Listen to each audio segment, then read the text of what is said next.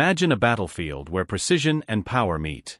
A place where artillery isn't just about size, but about mobility and devastating impact.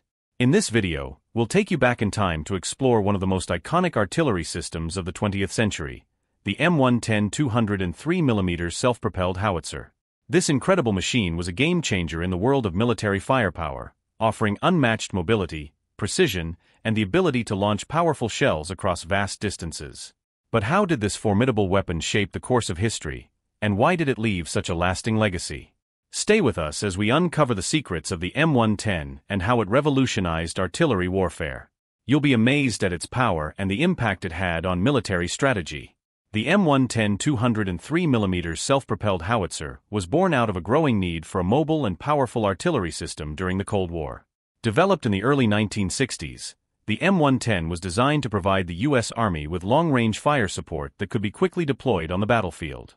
Unlike traditional towed artillery, the M110's self-propelled design allowed it to move swiftly with mechanized infantry and armored units, making it an essential tool for military operations.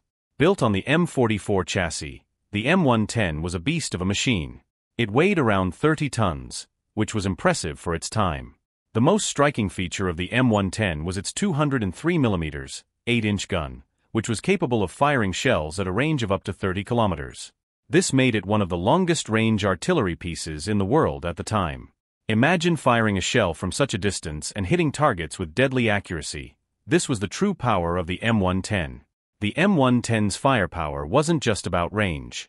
The 203mm gun was capable of firing a variety of ammunition, including high-explosive, HE shells, nuclear projectiles, and more specialized rounds.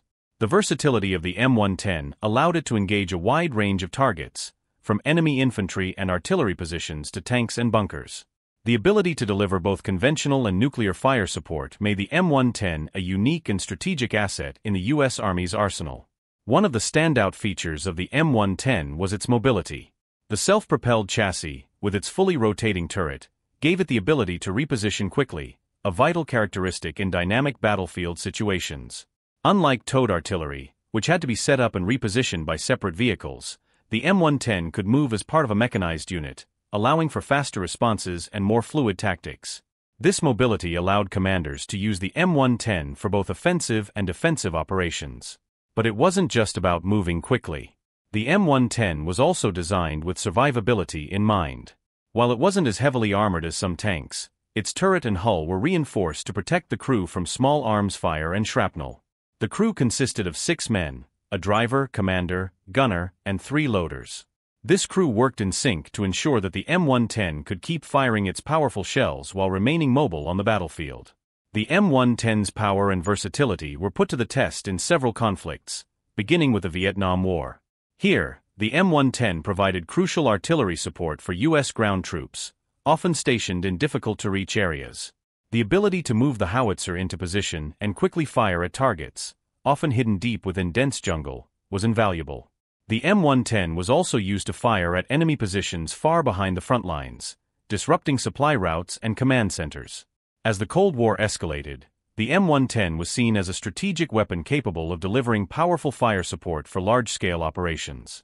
Its ability to fire nuclear projectiles gave it a unique role in deterrence, as the U.S. military could potentially target enemy positions with both conventional and nuclear artillery.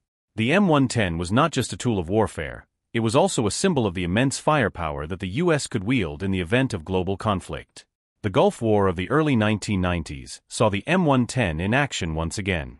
While it wasn't as prominent as other artillery systems, the M110 provided fire support against Iraqi positions. Its long-range capabilities allowed it to strike enemy targets with precision, helping to soften up positions before the ground assault.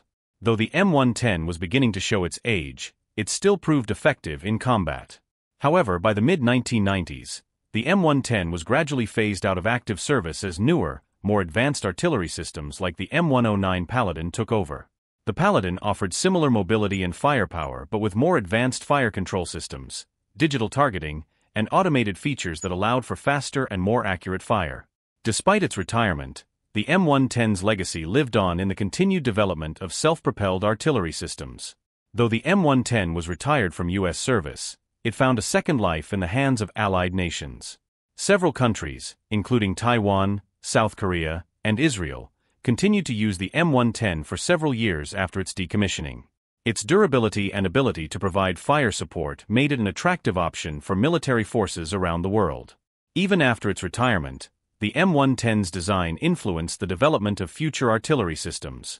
The combination of a large caliber gun, self-propelled mobility, and advanced targeting systems became the standard for future self-propelled howitzers. Modern artillery systems owe much of their success to the innovations introduced by the M110, making it a cornerstone in the evolution of artillery.